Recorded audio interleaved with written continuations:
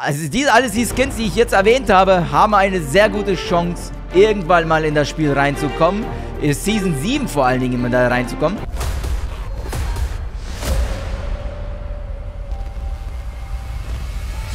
Warte, warte, warte, Leute, willkommen zurück zu Fortnite. Season 6 ändert sich seinem Ende. Es ist nicht mehr lange, nur noch eineinhalb epische Wochen. Season 7 steht ja schon so kurz vor der Tür und da erwartet uns natürlich eine Menge, äh, was das angeht. Wir, neuer Battle Pass, klar, im Battle Pass können tausend neue Sachen dabei sein. Hallo, bye, hallo, bye, blaps, blaps.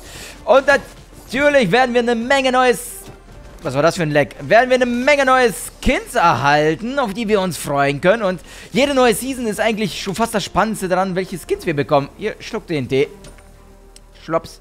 Und, äh, hier, ihr wisst ja vielleicht, dass viele Skins von der Community erstellt werden. Wow. Ich wollte einen entwickeln dass viele Skins von der Community erstellt werden und äh, gezeichnet werden, die dann äh, hier gepostet werden und Epic sieht das manchmal und äh, veröffentlicht diese dann. Ich habe hier auch eine kleine Grafik für, für euch, was wir für Skins bekommen haben über die ganze Season 6 und wann die rausgekommen ist. Die blende ich euch einfach mal ein. Könnt ihr mal angucken. Hallo Geronimo Boy. Geronimo Boy. Da bist du. Uh! Okay, der hatte mit dem Revolver sowas von einem Vorteil, aber gut, dass der Shot gesitzt hat, Alter. Der hat sowas von gesitzt. Okay. Ne, wir haben schon ein ziemlich interessantes Skins bekommen, muss ich sagen, in Season 6. Äh, Shogun unter anderem dafür, da ist ja noch einer. Was ist mit Trailer Park los? Warum ist hier so viel Action? Warum ist hier so viel Action? Komm, schluck mal. Und ich muss... Ich wollte doch eigentlich gar nicht... Ich, wollte, ich dachte, ich lande hier immer, damit ich in Ruhe reden kann, ne? Damit ich mich nicht so stark ablenke. Okay? Und äh, damit ich ja flüssig das Programm runterrattern kann, aber diese Gegend ist alles andere als ruhig gerade. Ist gerade AIDS? Ist gerade mega AIDS? Wow, ich werde noch beballert. Hirsch. Oh! Ah ja, der Tentakel. Ich, ich liebe es. Okay. Aha. Was ist hier los, ey? Was ist das hier für ein Rambazamba, ey? Holy shit. Skins. Kommen noch dazu, Leute. Geile Skins. Komm noch. Versprochen. What the fuck? Lass mich mal in Ruhe. Oh! Jesus Christ! Polski! Oh Mann, okay. Fünf Kills! Seit wann landen hier überhaupt jemals fünf Leute in dieser Gegend, ey? Ich muss mich healen, ey. Puh, okay, geht gut. Skins, Leute. Was haben wir bekommen in Season 6? Shogun-Skin war ein nicer Skin. Was hatten wir noch? Schreibt mir mal runter eure Lieblingsskins, die in dieser Season rausgekommen sind. Leute, runter in die Kommentare und vor allen Dingen, welchen Battle Pass-Level ihr habt. Schreibt mal das rein, bin mal gespannt, weil wir haben ja doch schon einige äh, interessante bekommen, finde ich. Deadfire war ein, der erste reaktive Skin überhaupt. Also, ne, das, äh, der Cowboy-Skin, der, der sein Aussehen ändert, desto mehr Schaden man kriegt und so weiter beziehungsweise Kills macht. Der Jagdgruppen-Skin ist der beste Mystery-Skin, den wir bisher seit langem hatten. Und kein einziger kein einziges Shotgun. Mein Lieblingsskin ist klar das Shogun, das ist so mein erster Platz. Aber von Season 6, wo die rauskam, Calamity auf jeden Fall, gehört ganz weit oben für mich. Und äh, Wolfskin geht so, den feiere ich nicht so ganz. Komm raus. Komm raus. Der ist sogar Calamity. Oh! Alter, was geht heute ab? Was geht heute ab? okay, die Schütze sitzen. Dynamit sitzt. Es sitzt alles. Die Hose sitzt auch, auch wenn ich die mal locker mache, damit es nicht so sehr drückt. Okay. Was haben wir? Okay, und ihr, ihr wisst ja Bescheid, dass Communities die Skins auch manchmal malen und rauskommen. Der Chicken Skin, ach ja, der Chicken Skin gehört auch auf jeden Fall eine sehr hohe Platzierung. Taro Skin mag ich auch in dieser Season. Aber auf jeden Fall, Chicken Skin wurde von einem Neunjährigen designt. Ja, auf Reddit gibt es einen Post, da hat ein Neunjähriger erstmal ein Bild gemalt, das erstmal sehr, sehr grob aussah. Wisst ihr Bescheid, ne? Die Story habt ihr bestimmt schon gehört. Er sah das ganz grob aus. Dann hat ein anderer User, der, sag ich mal, ein anderes Konzept erstellt und quasi diese Zeichnung nochmal ein bisschen besser gemacht, weil die Community das äh, Ding so mochte und Epic hat das Ganze dann gesehen und dadurch den Hähnchenverteidiger, den Flügelverteidiger produziert. Mega geile Geschichte. Aber auch der Shogun, den ich gerade spiele, ist auch ein Community-Konzept mehr oder weniger. Und zwar hat er schon zu Season 5 ein Benutzer einen Oni-Skin produziert. Und den blende ich euch natürlich an, wie er aussieht. Und äh, der war schon angelehnt an einen Samurai-Skin, einen japanischen Oni. Ein Oni ist ein Dämon, ein japanischer Dämon, ne? Es bedeutet sogar übersetzt, glaube ich, Dämon Oni. Und äh, hier, äh, da hat er halt einen japanischen Skin gezeigt, der auch sehr rötlich war in diesem Fall. Aber zu Season 6 hat dann Epic halt diesen Shogun rausgebracht, der anhand dieses Konzepts angelehnt ist und den rausgebracht hat. Fand ich mega nice und der Skin ist auf jeden Fall auch mega nice geworden. Sogar besser als der Oni-Skin. Ich muss noch diese Challenge machen, deswegen stehe ich hier gerade ein bisschen kloppe. Aber ich kann auch in Ruhe klappern. Mit 6 Skills bin ich gerade mehr als gut dabei. Tada, Dankeschön.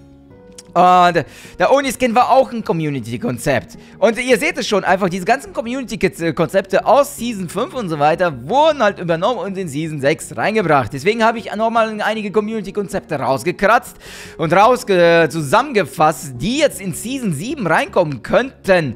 Äh, ne? Und das sind auf jeden Fall Mords geile Community-Konzepte, die ich mega feier. Und äh, ihr könnt ja gerne auch eure Meinung schreiben, welche ihr davon jetzt am geil nicesten findet. Aber da, wie wäre es als aller allererstes, was wir brauchen für Season 7, ist äh, hier einen neuen Kuschel-Teddybär. Ja, wir haben schon eine Menge Teddybären und die, die meisten sind auch recht abgefuckt, dass die jedes Mal so viel Geld kosten. Aber hier, äh, spricht doch nichts dagegen. Hier, bisher haben wir zu jeder Jahreszeit einen Teddybär bekommen. Im Frühling haben wir dann äh, hier die, die Kuschel-Oberbeauftragte bekommen. Valentinstagskin, ne?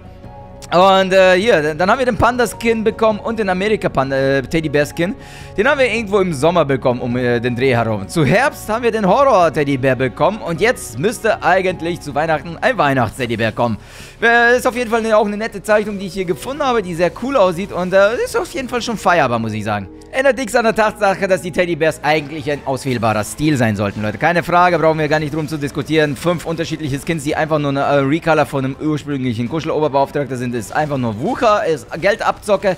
Brauchen wir gar nicht drum zu diskutieren, aber hey, äh, wenn wir das Muster so folgen, müsste eigentlich ein Winter-Weihnachtskind kommen. Naja, und ich brauche immer noch eine Shotgun. Verdammt, ey. Ich renne hier die ganze Zeit rum und eine einzige Shotgun. Und äh, ein nächstes Konzept ist auf jeden Fall, das habt ihr schon vielleicht mehrmals gesehen, ist ein, auf, so ein Schneemann. So ein Schneemann-Skin, der wie ein Schneemann aussieht. Von oben nach unten ziemlich weißer Skin. Erinnert schon fast wie an den, äh, hier, an den Osterhasen, der auch ziemlich weiß ist. Aber der halt sieht halt aus wie ein waschechter Weihnachtsmann. Äh, nein, Weihnachtsmann nicht. Nee, wie ein Schneemann. Waschechter Schneemann. Äh, ihr habt vielleicht auch von einem Leak gehört, von einem Horror-Weihnachtsmann oder sowas, was natürlich kompletter Käse ist, aber ähm, viele denken ja, dass Season 7 wird ja winterbehaftet sein. Weihnachten ist auch dazwischen, wird ja über ganz Weihnachten gehen. Tanz mit mir, Fischi. Den habe ich schon, leider. Und, ähm, dass hier der, dass ein Weihnachtsmann als Level 100 Skin natürlich auch kommen könnte. Wer weiß, wer weiß. Ich glaube, Epic wird uns überraschen und nicht einfach so einen schlichten Season-Skin beziehungsweise so einen Festival-Skin reinpacken, sondern werden schon was Episches reinpacken. Bisher waren die Season-Skins beziehungsweise die Level 1 und 100 Skins waren immer episch, egal ob Halloween dazwischen war oder nicht und äh, also vom Aussehen episch, ne? Nicht die Seltenheit. Naja, das nächste Konzept, was ich für euch habe, ist auf jeden Fall ein richtig nices von Ray Art und das ist mega geil gezeichnet und das nennt sich Dragon Slayer, also Drachen Sachen schlechter. Und äh, der Skin ist einfach brutal. Der ist brutal, Leute. Ich würde mir den sofort gönnen. Natürlich legendäre Stufe und kriegt natürlich auch Blitzeffekte und so weiter auf der, äh, hier. Ähnlich wie Drift oder Omega, wenn man desto höher man den spielt, würde er hier leuchten. Oh, jetzt stehe ich nicht tief genug drunter, ne? Ätzend. Ähm, desto mehr Kills man macht und so weiter. Ähnlich also schon wie der Deadfire-Skin. Und übrigens, diese Konzeptzeichnung war noch zu Season 5. Anhand dieser Idee, dieses Konzeptes, dass man sein Skin auflevelt, äh, desto mehr Kills man macht, ist auch der Deadfire-Skin entstanden, mehr oder weniger. Na, jetzt habe ich zwei lila Revolver, aber immer noch keine Shotguns. Aber die fällt auch nicht raus. Abgesägte wäre geil. Äh, und der Dragon Slayer ist einfach brutal. Die Spitzhacke ist brutal. Der Skin an sich ist brutal. Auswählbares Stil, Farben und so weiter. Und äh, die man dann freischaltet, indem man desto mehr mal Waffenkills man macht. Mua, lecker. Ich werde natürlich noch ein eigenes ständiges Video rausbringen, wo ich über die einzelnen äh, Wünsche für Season 7 und so weiter spreche. Waffenskins sind auf jeden Fall sehr angesehen. Und äh, hinterlasst auf jeden Fall ein Abo, Leute. 500.000 Abonnenten gilt es noch dieses Jahr zu knacken und es ist verdammt knapp und es würde mich auf jeden Fall mega, mega freuen. Und vielleicht schaffen wir auch die 5.000 Likes auf diesem Video. Was meint ihr? Ist das noch eine Aufgabe, die wir schaffen können oder eher nicht? Tut auf jeden Fall nicht weh und ist umsonst. Naja, das, der nächste Skin ist auf jeden Fall auch wieder was Asiatisches. Ich liebe asiatische Skins. Das ist Koki. Also wieder ein asiatischer Stil. Erinnert so ein, ein Mix aus Drift und den Shogun-Skin so ein bisschen. Ne? Die Spitzhacke sieht wieder brutal aus. Ich liebe diese Spitzhacke, ey. Und dann natürlich auch auf Level 100, beziehungsweise wenn man den freischaltet, dann so ein paar Blitzeffekte, die dann sich auch farblich anpassen lassen. Das wäre Buttersweet. Das wäre... Ja, ich hätte den Revolver gar nicht brauchen sollen. Der lag hier ganze Zeit. So viel dazu. Ne? Und äh, dann gibt es nochmal einen dritten Skin vom gleichen Zeichner. Und der erinnert äh, tatsächlich an einen Ninja-Skin. Ja, der sieht aus wie ein Ninja, also den Streamer, ne? Und äh, es wäre auf jeden Fall eine coole Hommage an äh, Ninja. Das ist ja quasi der beliebteste oder verbreiteste ja, ja doch, eigentlich schon, ne? Der beliebteste und verbreitetste Fortnite-Spieler ist. Und dann würden die diesen Skin reinbringen, der halt ziemlich ähnlich wie Ninja aussieht, aber auch natürlich an einen Anime erinnert. Und das ist Ryona Kenshin. Spreche ich das richtig aus? Ich glaube, ich habe das falsch ausgesprochen. Ihr wisst Bescheid, wenn ich das meine, wen ich meine. Aber der, der Skin da erinnert total daran. Und allein diese drei Konzeptzeichnungen von diesem Typen feiere ich ultra. Die sind so lecker. Die sind richtig lecker. Aber das Ganze muss sich nicht nur auf Skins beschränken. Wie wäre es mal mit was mit den Haustieren? Da bringe ich noch, äh, hier, ein bisschen tiefer gehe ich dann noch in die Thematik rein in dem Wunschvideo für Season 7. Aber die Haustiere haben ja bisher jetzt nicht so wirklich viel äh, Abwechslung bekommen. Und ein Konzept zeigt, dass diese Haustiere sich an den Skin anpassen, äh, den man gerade ausgewählt hat. Beim Beispiel von Renegade Raider zum Beispiel würde da zum Beispiel der Hund, Wuffel heißt auf Deutsch, ne? Hallo Bruder, Autsch. Autsch. Würde Wuffe... Oh, Baby! Alter, das geht gut ab. Ich habe endlich meine Shotgun. Yeah, Mann. Und der Headshot an den Typen war, auch lecker. Ja, und Wuffel würde dann auf jeden Fall eine Brille bekommen, die dann passend zu dem Skin ist und mega nice wäre. Ah, das TNT sitzt einfach. Das TNT sitzt. Wie sagt das Ding, dass schlecht wäre? Das Ding ist mords geil. Das Ding ist mords mords geil. Man muss noch ein bisschen Geduld haben. Oh, da will jemand mal, da will jemand meine, da will jemand meine Kills snacken. Ja, und ja, dass die Haustiere auch ein paar neue Skins bekommen würden, das wäre auf jeden Fall auch nicht schlecht. Wenn neue Haustiere allgemein wären geil. Aber das ist ein Thema für ein anderes Video. Okay.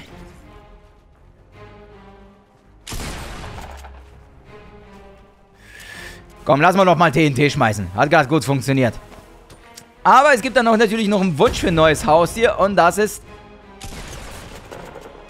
Und das ist hier der Highskin. Der Highskin könnte man auch, äh, ja, quasi ein Aquarium bekommen, wo ein Hai drin sitzt, ne?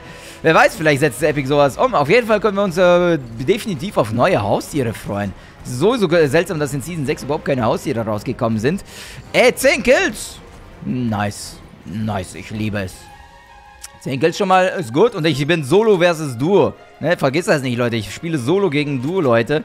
Hab jetzt schon 10 Kills. Und da like it. Ein nächstes Konzept ist vom Flabogar 8. Und er hat einen Shaolin-Mönch erstellt. Passend zu den ganzen Emotes, die wir haben. Zu Tai Chi und, äh mit der Faust nach vorne, ne, und so weiter, haben wir eine Menge Emotes, die schon sehr daran anlehnen. Und deswegen passt dieses Konzept sehr gut zusammen mit dem Emotes und ist sogar sehr, nicht mal unwahrscheinlich, dass wir irgendwann mal einen Shaolin-Mönch bekommen. Und dieses Konzept ist auf jeden Fall mega gut erstellt. Der hat nicht nur ein paar Zeichnungen erstellt, der hat sogar Ingame, der hat sogar Ingame den geshoppt. Okay, der hat sogar Ingame-Bilder von dem erstellt, wie es aussehen würde, wenn er Ingame wäre. Das ist krass. Das ist mega krass. Ich, ich feiere dieses, allein dieses Konzept feiere ich genauso. Und wie gesagt, passend zum ganzen Emotes ist es sogar sehr wahrscheinlich, dass Epic diese Skins, äh, beziehungsweise diesen Skin auch vielleicht reinnehmen könnte, wenn die die Idee gesehen haben. Wenn die diese Idee gesehen haben, würden die auf jeden Fall äh, wahrscheinlich reinnehmen. Es passt gut zu den ganzen Emotes und den ganzen Skins und so weiter. Und raus mit dir und... Ja, Mann! Mm! Elfter Kill und dann noch so ein 200 IQ-Play mit, mit dem TNT. Oh boy, ich bin on fire. Ich bin on fire. Was geht hier ab? Ich, ich, ich feiere das gerade. Mega. Naja, der Shaolin-Skin auf jeden Fall. So geil. Und äh, auf jeden Fall, ja, auf jeden Fall, auf jeden Fall, auf jeden Fall. Wie, was bringe ich noch für Wörter rein? Ich bin, äh, bin gerade ein bisschen aufgedreht, weil ich so äh, schon elf Kills habe und das Solo versus Duo. Naja, äh, hier. Äh, Shaolin Skin könnte auf jeden Fall mega reinkommen und äh, allein, wir sehen ja schon in der Vergangenheit, wie viele Skins Epic äh, reingebracht haben. Ah ja, die Drum Gun zum Beispiel war ja auch ein Konzept. Ich blende euch mal ein Bild rein von einer Drum Gun, die von einem User erstellt wurde, was ein Konzept war und gezeichnet wurde und die Drum Gun kam tatsächlich in das Spiel rein. Deswegen, also diese, alles die Skins, die ich jetzt erwähnt habe, haben eine sehr gute Chance, irgendwann mal in das Spiel reinzukommen. Ist Season 7 vor allen Dingen da reinzukommen. Oh! Ich wusste doch. Ich wusste doch, ich habe jemanden gesehen, ey.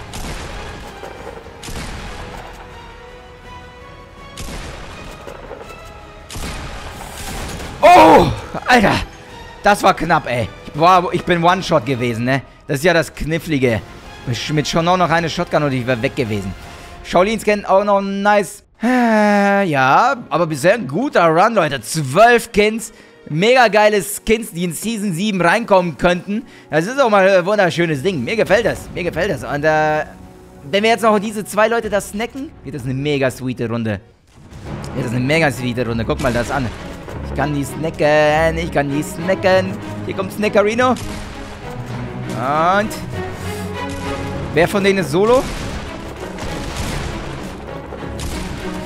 Okay. Ah, Mist. Die zwei waren leider Duo. Okay, habe ich leider auf den Falschen gezielt, aber die Treffer waren auch Mist.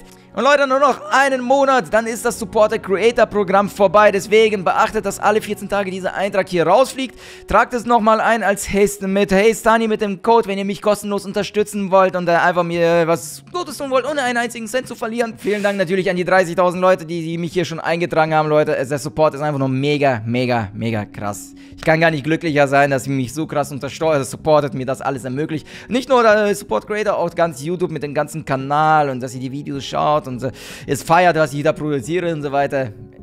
I love you.